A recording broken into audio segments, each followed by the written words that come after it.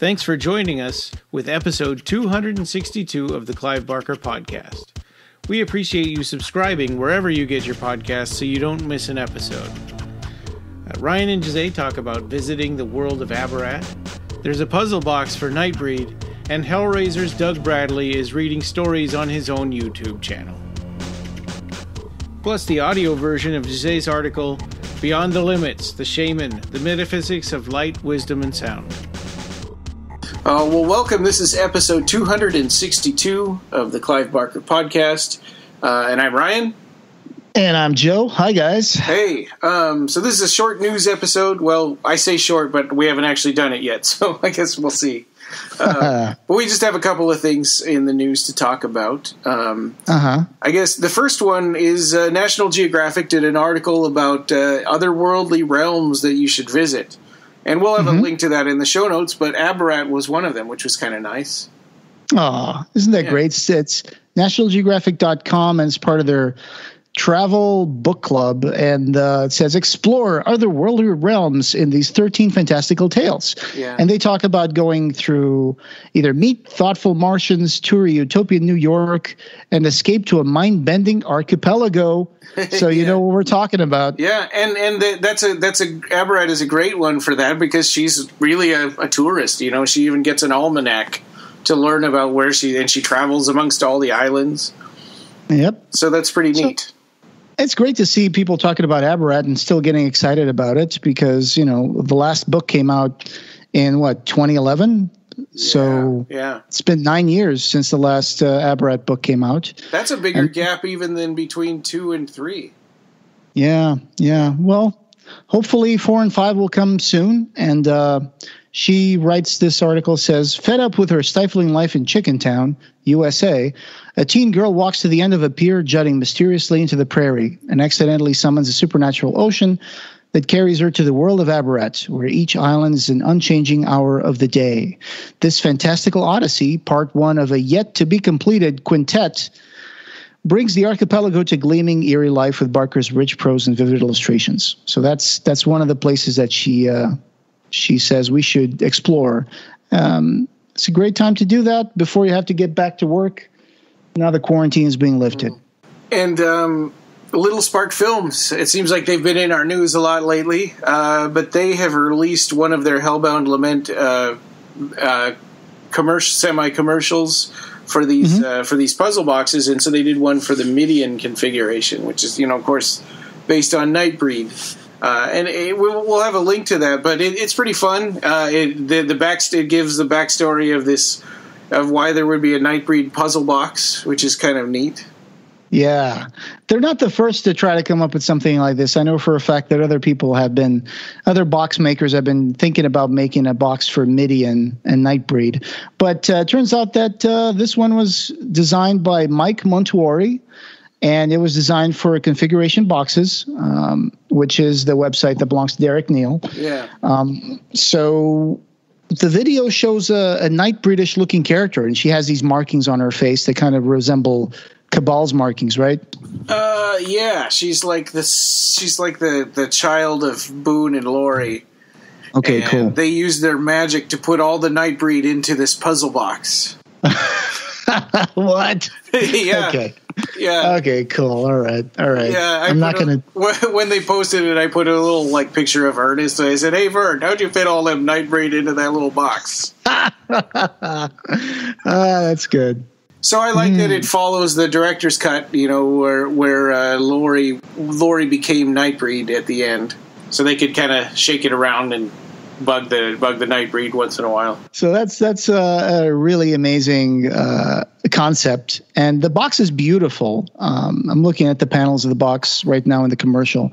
They really are beautiful, a great design, and the actress is uh, pretty awesome in this. I had a great makeup design. Uh, she's kind of like just lurking around a building, and she's just scared that someone might see her. And uh, you know, it's a very detailed looking box. Yeah. And uh, kudos to Little Spark Films for making another wonderful box video like this. I think they have a plan to release a few more as the weeks go by. Yeah, well, and that'll be great to see. And then our last thing, Doug Bradley uh, just advertised on Facebook that they've they're starting their own. He's starting his own YouTube channel which is cool. Uh, the the first video, he starts reading Mary Shelley's Frankenstein. Yeah, that's going to be something, huh? Uh, read by Doug Bradley's wonderful voice. Yeah. It's great to see him doing better after his surgery, um, and the the news about the tumor that he uh, had, and uh, I'm just glad to see him do more stuff. He's great. He's a great. Uh, uh, he's a great uh, uh, performer when it comes to audiobooks. I mean, he did Barbie Wild's Venus Complex. Yeah. Right. Yeah, He read- and, and uh, Mr. B. Gone for Clive Barker. and tonight again that we had a chance to review. Uh, yeah. So it's always great to see Doug using his voice and his talent to uh, entertain us. Well, and what's interesting too is in this video he describes that uh, ever since he was little, he's always read his books out loud. He never reads like just in his head. He always he reads every book out loud. Sounds like a great practice. Yeah, yeah. So now, I mean, that makes him super qualified. You know, if he's had, he's been doing it for years, and he's a and he's a uh, an accomplished actor. So, yeah, of I course. think I remember. I think I remember Clive saying at some point that once he comes up with a draft for his books, he reads it out loud to see how it uh, how it sounds. Yeah, yeah, and, and that's a good. And it also gives you a good uh, feeling for the flow of it because if you just read in your mind, you're reading probably 1.5x, you know, um, times the the actual speed of how it would come out in verbally. It's very awesome to have Doug Bradley create a channel. It's it's already got almost 2,000 subscribers. Yeah. Um, and the video was just put up a day ago. So, Yeah. you know, this uh, actually, I am already subscribed. Look at that. Huh. Well, because you're you're probably on the Clive Barker podcast channel. No, I'm actually in my own. Oh, I must have uh, I must have done this when he announced it like a couple of weeks ago. oh, so I Oh, must have okay. gone there. But now it's the first time he's uploading the video. So Okay. he he didn't even give it a title. It just says May 21, 2020. So uh, yeah, in one day he's got 2,000 subscribers and 2,000 views. So it seems like people are really dedicated when it comes to his channel. Yeah, that's great. So yeah, kudos to him. I'll be interested to see what he does. And he did those. Uh, he did that series of of uh, audio books. Spine chillers. Spine chillers, right? Yeah, he did. Yeah. He did that where he read some stories, and um, before that, he had done like this kind of uh, audio book for some Lovecraftian story, like The Stranger, something. Hmm. That was years ago. That was that was really a long time ago. Yeah. So, uh, click that subscribe button on the link to his video channel on the show notes. And you can also click on that little bell that's next to the subscribe button. You can pick to receive uh, all updates about his Oh. channel, which is usually what I do, so I can Yeah. get alerts about every single video. I'm I'm pretty ignorant about YouTube. We should do that too for the podcast feed. Yeah, absolutely. Yeah, well, that's cool. and uh, and coming up for next week, uh, the commentary for D D is for The Devil Rides Out. So we watched the the uh, the '60s Hammer horror film Devil Rides Out, and we just finished recording that. Uh, so that'll be coming out next weekend. And that was fun. something something to look forward to. We had Ed join us for the commentary track, and we brought up a lot of trivia, a lot of stuff about uh, Satanism or the idea of Satanism from the 60s and 70s. Yeah. Uh, Dennis Wheatley, the guy who wrote the book uh, that was adapted into the uh, the movie, and Hammer Hammer Films, of course, the studio that uh, produced it. So I think you guys will enjoy that, watching the movie and listening to our commentary track. Yeah, yeah, it was a lot of fun. Um, we've got an interview coming up. Um, I don't want to say who yet, just in case it doesn't work out. But uh, and we'll be continuing the Imaginer series with Imaginer Seven and Imaginer Eight uh, to finish that up, and then Abarat Three, Absolute Midnight. We're looking at probably sometime in June. That's wonderful. I do have that audiobook. I started listening to it. It's 15 hours. So, Oh, wow. uh, yeah, I just put it on every once in a while and I listen to it on my Bluetooth headset. And I'm enjoying it so far. I'm really having a fun time with it. Well, good. Yeah, well, I I need to do that too. I want to look, see if I, I have that audiobook already. Absolute Midnight on Amazon. Go get it because it's kind of hard to find a hardcover. It's it's going for over 50 bucks right now on Amazon. Oh, really? Wow. Yeah. Yep. Well, it's out of print, I think. So you can only find it used. Oh. Uh, six yeah. used on Amazon right now for 53 bucks, uh, one new from $98, Jeez. and two collectible from $150. But you can get the paperback for $9.99. What's the difference between new and collectible? Well, usually collectible is either someone who thinks that they have a very collectible book, or they have an advanced uncorrected proof, or they have a signed copy by the author. Oh, I, I see. That's the trick with that. That that always bugs me about buying stuff on Amazon like that because they don't use the actual photo of the of the copy that you're you, you know that you have. They it's just some random. Sometimes yeah. it'll be a picture of the paperback, and you don't you just don't know what you're going to get. Yeah, I don't like it when they use stock photos, but sometimes yeah. for the collectible, they do put a picture of the book. Like I'm looking at a collectible right now on Amazon. It says collectible like new, first edition signed by author, and he has two pictures of the book. So it does show the signature, the cover, and the back of the cover. So, well, but most of them just don't put anything in there. Well, this was this was a short episode after all. Hey, so since this was a short episode, we're gonna give you some more stuff to listen to. We have an audio version of a blog post that I did about light, wisdom, and sound, the painting. So here it goes.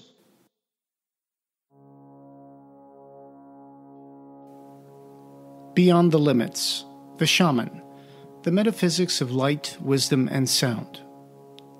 When the five bright wisdom lights are shining here, May recognition come without dread and without awe. When the divine bodies of the peaceful and the wrathful are shining here, may the assurance of fearlessness be obtained and the bardo be recognized. When by the power of evil karma misery is being tasted, may the tutelary deities dissipate the misery.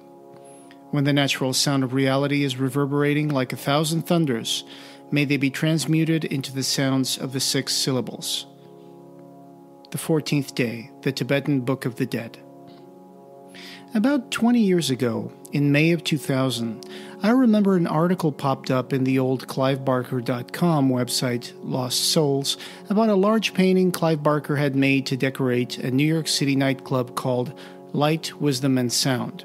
This was old news at the time, as the event itself took place in the summer of 93, more precisely June 16th.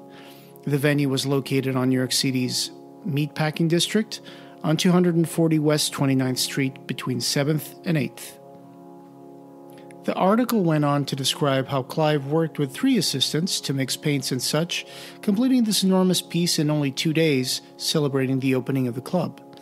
Allen Ginsberg was also part of that night's event and chanted the Prajnaparamita Sutra, the heart of the perfection of wisdom, on stage at midnight to celebrate the occasion. Ginsberg chanted a slightly adapted version of the sutra he had worked on with Gelek Rinpoche, who would later perform the Buddhist ritual at Allen's death, based on a translation by Shunryu Suzuki with the Roshi's consent. Thanks to Jill Abrams, you can watch this reading uploaded to YouTube, here, part 1, and here, part 2. You can find out more about Ginsberg and the work he did with the sutra here. The opening act featured YR, Young Richard, and the night's entertainment also featured DJ Anita Sarko.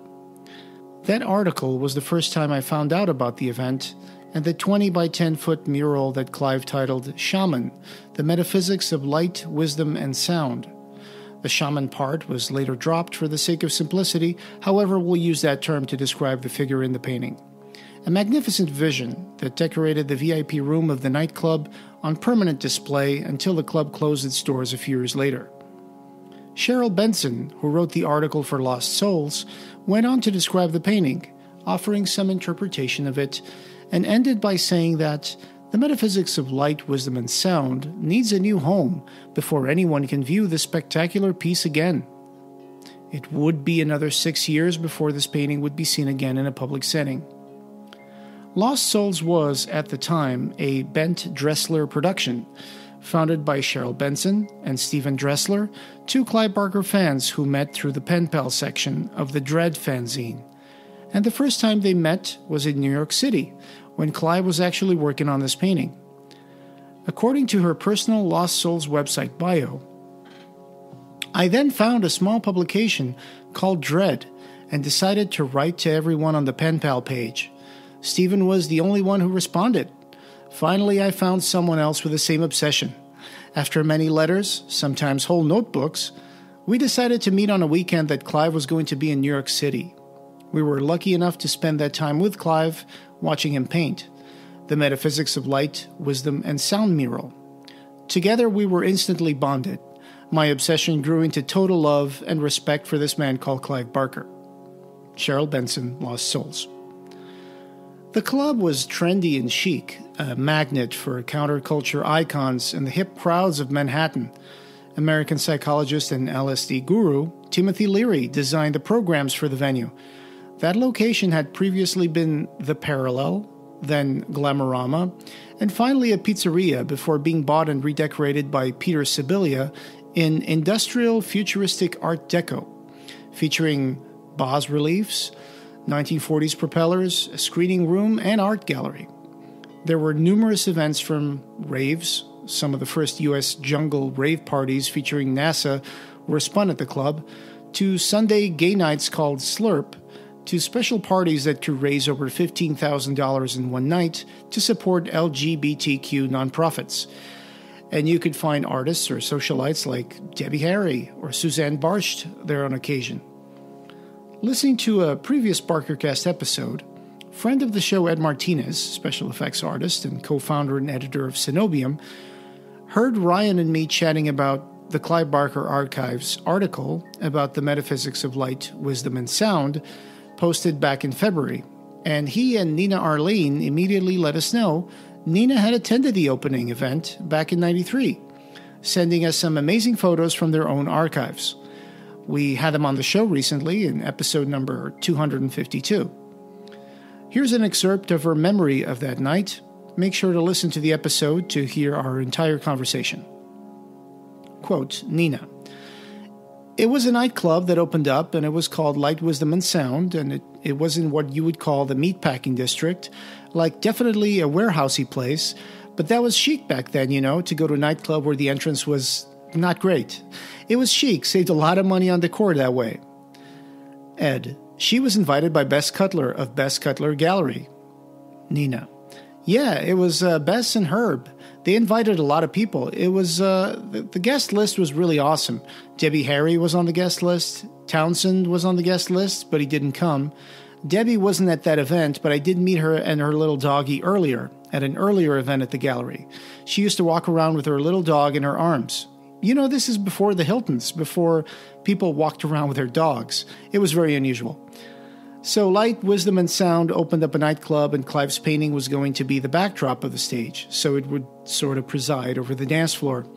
They invited a lot of people that were doing fan publications and stuff like that that were familiar and had been coming to his openings, art shows, things like that. Sort of, okay, these are the diehards. We had bagels before we had anything to drink. Oh, yeah, and we had someone's birthday cake too. Nina Arlene, Barker Guest episode 252. She met a photographer at the event, Victor Malafronte, the mad dog of New York's Wolfpack Paparazzi, asked for his business card, and eventually got copies of some of the photos he had taken that night. These ended up published in an issue of Cenobium covering the event and describing the painting unveiled that night. Nina also remembered that, as people hung out in the club, you could practically smell it, the painting. It was so fresh. Here are the pictures they sent us, featuring a lovely portrait of Clive and Allen Ginsberg I've never seen anywhere else before. Nina is wearing the lovely light dress, fifth from the left.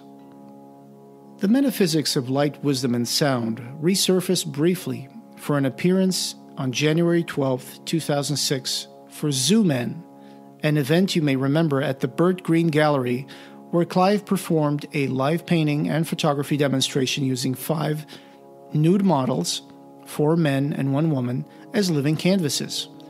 After that, according to the February 18th blog post by the Clive Barker Archive, the painting went into storage and remained there for the better part of 14 years. Phil and Sarah Stokes go on to describe discovering the painting, feared lost in recent property moves.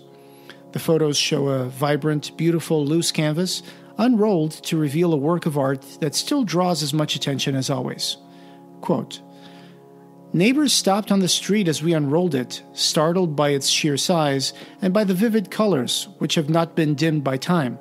and Clive got to revisit his painting, astonished by its clarity and the imagery which has followed on into works which he has made many years later. Light, Wisdom, and Sound, Clive Barker Archive. The painting itself is 10 by 20 feet long, and from the photos the Clive Barker Archive included in their blog article, it looks as striking today as the day it was painted. At the time, excluding the scenic backdrops Clive had worked on during his theater years, this was his largest piece, and it might still be today. Even the beautiful moment triptych, depicting the entire Abarat archipelago, is composed of three huge canvases that make up an image 8 feet by 19 feet long. Using latex colors, Clive's landscape focuses on a figure, the shaman, that seems to be in a meditative state in and of the world they inhabit. Tendrils of substance and light come out of their eyes, nose, and from eye stigmata on the palms of each hand. Are they creating this world? Are these tendrils new organs that take it in strange ways? These bulbous tendrils end in faces, their eyes glowing with sight, insight, scanning the flat landscape. The ground is alive with green grass that is trying to envelop the shaman, rising up from the ground in reverential wisps around the egg he's sitting on. The egg is cracked, indicating the possibility of imminent birth, maybe a womb of sorts. The shaman squats on an egg and his feet merge into the ground. Going back to the many eyes that populate this painting, the Aitareya Upanishad, dealing with the nature of self and creation, says The sun is believed to be Brahma, and the sun resides in the human eye. That person who is seen in the eye, he is the self. That is Brahma. Notice that this guy has no sun to speak of, despite being a wide angle landscape. There is, however, a luminescence depicted by dots of yellow and orange floating around the shaman. Most Hindu and Buddhist entities are represented with closed eyes, as they usually are meditating, looking within. His form is surrounded by yellow, orange, and red dots of light, and pointillistic splashes of color that might as well be flower petals, spiraling in the air and around their body as if summoned from thin air by the shaman. The seer sees not death, nor sickness, nor any distress. The seer sees only the all, obtains the all entirely. Chandogya Upanishad 726.2 Hume translation. The shaman is naked, his symmetrical body almost sexless. A flap between his legs, or an umbilical connection of sorts, appears to go inside the egg through a crack. The arms are stretched out, not resting on the knees. In Kundalini Yoga, the arms can be held out in the air during a Kriya or meditation, making you engage your core, your fulcrum. In the distance, triangular structures like pyramids. Are they temples? Cities? The horizon is much, much lower than the eye line of the shaman, making the scale magical, disorienting. Are these very small, or the shaman very large? Is the shaman at a summit, one of a thousand plateaus behind which we see the cut off tips of pyramids far and below? We look up at the painting and let it take us in.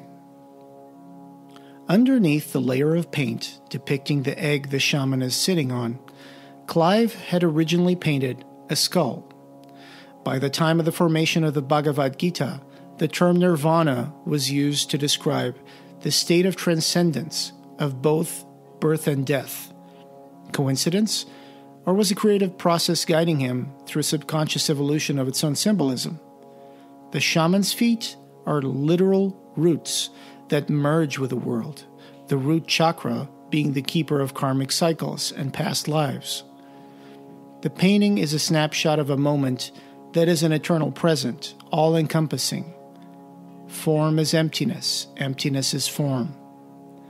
The metaphysics of light, wisdom, and sound's composition comes together with one tendril face beaming light through its eyes on the right, another tendril face emerging on the left displaying a trumpet like mouth.